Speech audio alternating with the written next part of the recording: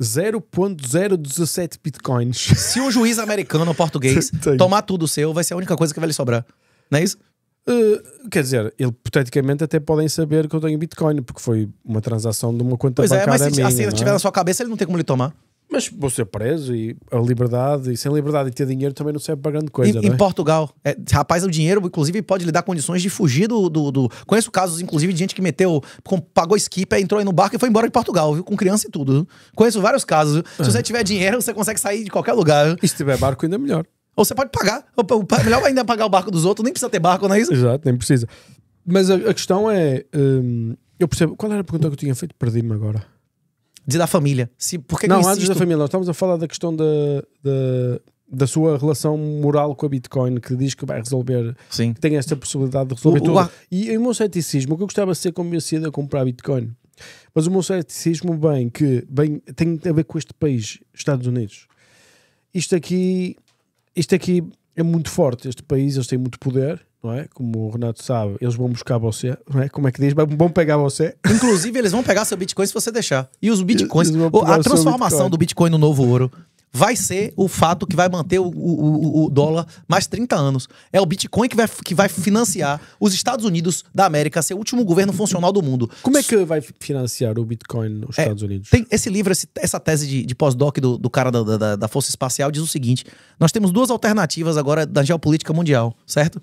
É o fim da história lá do Fukuyama, vai ser agora. Agora, era- ali não era a última, não. Não era Finisterra, não. Tinha mais 30 quilômetros depois de Santiago, não é isso? É isso. A- a- o fim da história vai ser qual país vai capitalizar essa riqueza toda que está sendo concentrada no ouro que você transporta em qualquer meio de comunicação.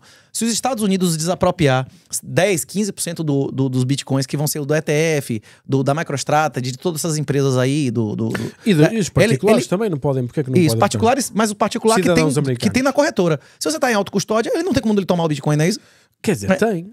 Você acede às ba- à base de dados das corretoras e diz quem é que comprou Bitcoin. Pois é, eu perdi a senha. Eu paguei, eu não sei quem. Não, Eu comprei pra dar de presente a, a, a, a, a Miguel. Mostra, Vai lá atrás de Miguel. mostra a minha transação Que aí. transação aqui, ó. Eu dei de Miguel, eu nem saquei pra mim algum endereço, mandei pro endereço de Miguel. Sabe uma coisa como é que funciona a lei? A lei diz assim, ah, eu não sabia. E a lei diz, não quero saber, vai ter que pagar. Quando houve Ou seja, 30. Ah, Miguel, eles quando houve podem em dizer o 33. seguinte, eles podem dizer o seguinte, você tem a Bitcoin. Sim. Você tinha esta Bitcoin, ah, mas já não tenho. Mas você vai ser coletado na mesma. Beleza. Não isto? tem problema nenhum, colete, eu quero ver ele coletar. Agora, é isso que eu tô dizendo. Então É, Não pode ter nada, não é? Não pode ter carro, não pode ter casa, não pode ter nada. Se um país totalitário, eu não, não tenho mesmo. Um lugar que não tem Mas- lei. Você mas- tem vontade de ter carro e casa no Brasil? Mas você gostaria de ter imóveis e carros no Brasil? Só, você tem uma coleção de carro campeão. Você queria que ela estivesse no Brasil lá? Não, eu não, não gosto Ah. muito do Brasil. Pois é. Ou seja, eu gosto dos Sim. brasileiros e gosto do país Brasil.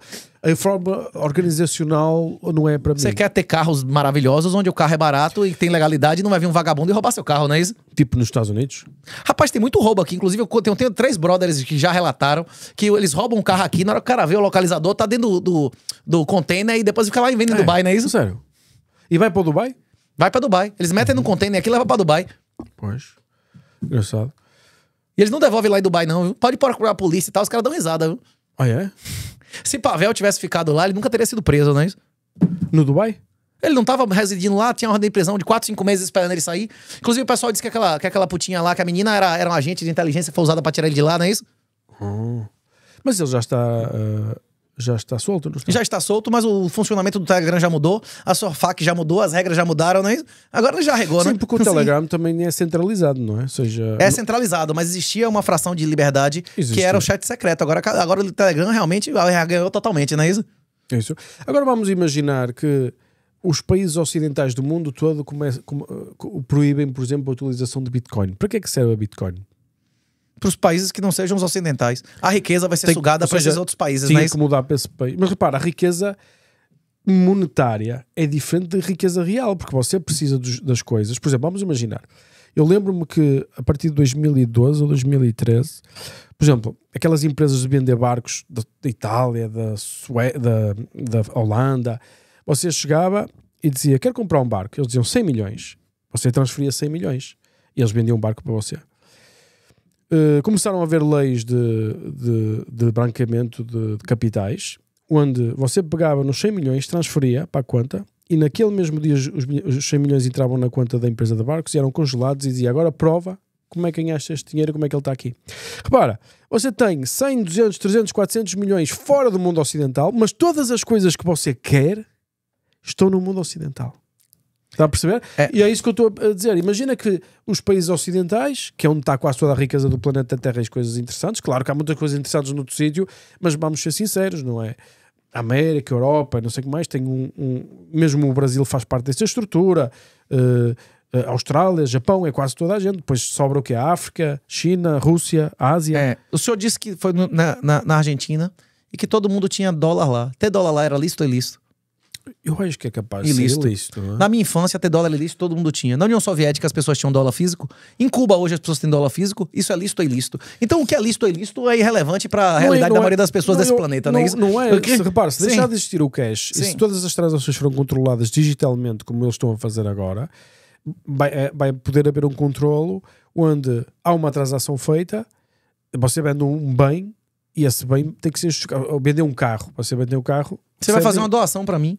Isso, e na hora que tiver fechada a tra- Não, não, transação, você vai receber Bitcoin. Não funciona, Isso. você não pode doar. Não pode doar, é proibido, eles Não, vão proibir doações, eles vão proibir aluguel, eles vão Isso. proibir sessão de direitos. Isso é, Vai proibir? Não, vai, É, é. não vai ter mais nada disso, já, doação? já agora é assim. Você não pode entregar um carro a outra pessoa. Não pode doar, não? Fazer Não. uma sessão de direitos privada? Não, não pode.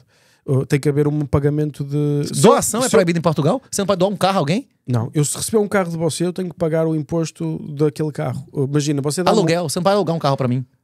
Eu, eu, eu se alugar um carro para você, eu tenho que haver uma transação, tem que haver um negócio. Mas Sim, você, e eu esse- posso não pagar esse negócio, não é isso? você Sim. você, mas a questão é, vamos imaginar, o mesmo hoje já existem estas coisas. Você, as transações, por exemplo, em Portugal, não sei como é que é no Brasil, mas em Portugal você só consegue fazer transações numa loja abaixo dos 3 mil euros, se não Sim. me engano. Vai acabar, vai ser 300, Vai depois ser 300, isso. vai acabar. É isso que eu estou a falar Tem cocaína em Portugal?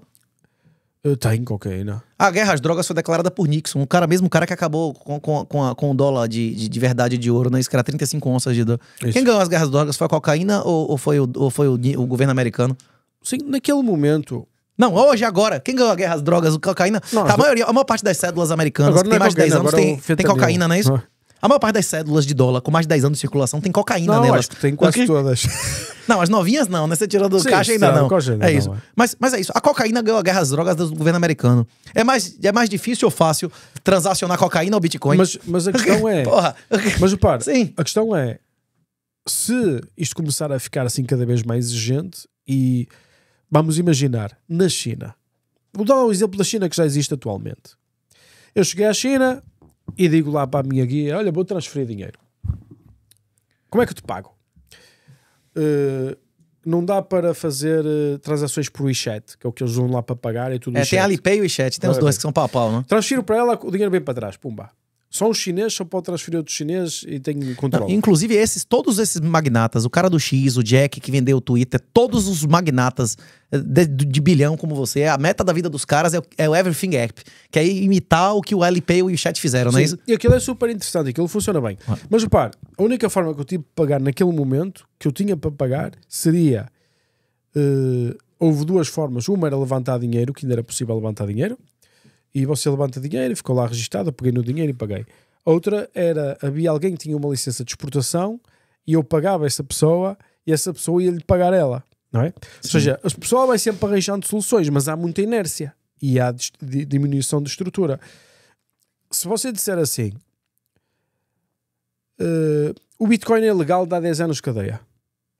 Vai continuar a haver pessoas com Bitcoin, mas garanto que a adoção vai ser muito inferior e garanto que maior- muitas pessoas vão vender porque não querem problemas com o governo, porque têm uma vida confortável. Eu estive na China e o pessoal dizia: Deixa-me ver o teu TikTok. Eu vi o TikTok e olha, mas isto é muito diferente da Europa. Eles disseram: Ah, eu sei, porque aqui o nosso governo controla isto. E não te importas? Ah, meu, o governo é político, eu não quero saber. Ou seja, eu- as pessoas querem é mais qualidade de vida, querem bens e Que se serviços. fodam, né? As pessoas pensam assim, não Que é? se fodam. Ou seja, não- as pessoas não têm a sua visão moral e ética É. eh, em relação ao Bitcoin. É uma, Ah. é uma visão muito mais utilita- utilitarista, não é? A maioria das pessoas vai pro céu ou pro inferno. Eu, segundo a Bíblia, eu acho que a maior parte vai para o inferno. A maior parte que é a porta larga ou a porta estreita. Exatamente, a maior parte que era. O casamento de meu pai, como é? A casa de meu pai é como o casamento do filho do rei. Que muitos serão chamados e poucos escolhidos. Ainda vai ter gente que vai bater na porta lá achando que, que não vai ter a roupa adequada e vai ser atirada pro ranger de dentes. Bitcoin não é para a maioria das pessoas. A maioria das pessoas são escravos pela própria natureza. E uma das- Exato, mas repara, se não é para a maioria das pessoas, então nunca poderá atingir uma valorização dessa Não, que você não, fala. não, não, porque a maioria das pessoas são relevantes financeiramente. O senhor mesmo falou aqui. A gente Mas falou. os ricos estão bem nos sítios onde estão, percebe o que eu quero dizer? Os ricos e legítimos, sim. Os- o- tem um, tem um artigo, inclusive, porque os. IUPs, na- porque os IUPs não vão aceitar o Bitcoin. Os ricos que querem financiar aborto, os ricos que, que querem financiar a castração de criança, normalmente são os bandidos, são os caras que deram colateral de pedofilia, esses aí realmente vão se fuder. Agora, os ricos verdadeiros, os caras que produziram, o cara que pensa que ele não quer dar o suor do trabalho do avô dele pra castração e, e, e, pra, e, pra, e pra aborto, esse aí, esse aí é o cara, é o cara que tem uma nobreza e merece. Mas a, a questão que eu, ia, que eu ia comentar não era negócio de, de castração nem nada disso. Isso. Era, tem um artigo que chama Por que os IUPs não vão aceitar o Bitcoin?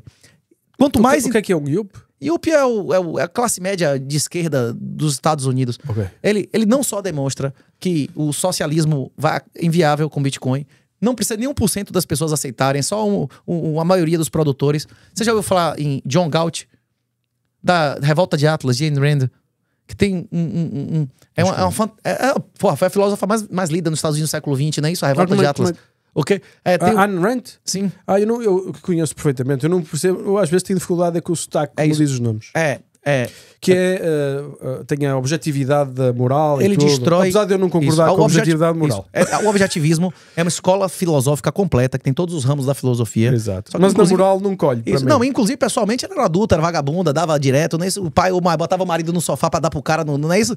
Uma vagabunda, não é isso? Mas, mas voltando, adulta era assumida, descarada, não é isso? Mas, mas, mas voltando, é, é, o, o que eu tava falando em relação à obra dela é que é, é, no- na Revolta de Atlas, é, meia dúzia de pessoas da sociedade colapsam a ditadura. Simplesmente ela descobre um lugar chamado Vale de Gaut e, em vez de brigar com a ditadura, ele só passa a não colaborar. As pessoas que são úteis, que são necessárias, que são empreendedoras, começam a desaparecer.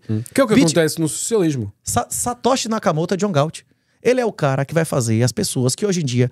Tem várias pessoas, a maioria das pessoas que sustenta as ditaduras não concorda com a ditadura. Só que o cara não vê alternativa. Aí o cara vai ver, uma, vai ver um, um maluco lá dizendo: não, compra bitcoins, não sei se é com e tal. O cara vai lá, compra bitcoin, experimenta, vê que inclusive rende mais do que o, o negócio que ele tá se matando, assumindo o risco do caralho, é, se financiando vagabundo. E cada vez mais pessoas vão comprar bitcoin. Na Venezuela, até algum momento que, que valeu a pena você voltar à Venezuela, eles eh, vai se regenerar lá pro venezuelano, pro argentino, pro, pro brasileiro. Rapaz, é muito difícil você ter um, qualquer coisa que dê retorno maior do que esse. E um retorno que tem riscos, mas riscos Tem monetários. Até no risco monetário, se você for nos índices, índice de Jensen, índice de Traynor, a relação risco-retorno é incomparável com qualquer ativo, bicho. Você pega qualquer janela de 5, 10, 15, até 9 anos, não tem, bicho. Qualquer, eh, não tem retorno maior, tipo, em relação ao risco. Ele tem uma variabilidade absurda, mas o ganho é tão maior, hum, historicamente, né? Não garante que no futuro vai ser assim. Que, porra, puta que pariu, é, é- é- é- é- é- a, a subida a- em qualquer índice de, de risco-retorno é absolutamente superior, né? Qualquer ativo que tá Sim, oferecido, né? Mas não quer dizer que funcione. Por exemplo, nos últimos quatro anos não tem sido grande investimento. Não? é? Quanto era há quatro anos atrás? Há quatro anos atrás, veja aí a data. Eu não sei que, que dia Acho que vocês vão botar isso ao vivo. anos, que, que dia vocês eh, vão, que dia vocês vão botar isso aí pôr- vamos tentar pôr este mês.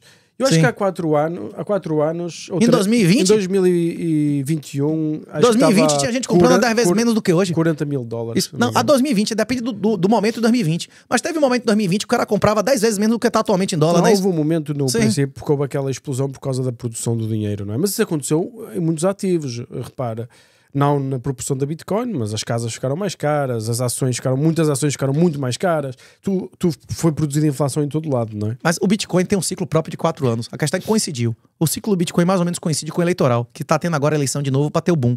As últimas duas eleições que aconteceu, presidencial americana, já- foi boom de 20 mas isso vezes já- e boom de 15 vezes, isso já, exatamente. já é especulação, não é? Não, porque a inflação do Bitcoin cai a cada quatro anos. Não entendeu o que eu tô dizendo? Eu sei Cê- o que quer dizer, é ou isso. seja, que a produção diminui. O, é? o halving é sempre um- é, menos de um ano mas antes. Tem a ver com a liquidez que as pessoas tiverem, não é? Ou seja, se, pessoal- se falta liquidez, o pessoal não Sim. compra ativos. O, não o é? macro tem que permitir, com certeza. É, tem que haver Sim. essa capacidade.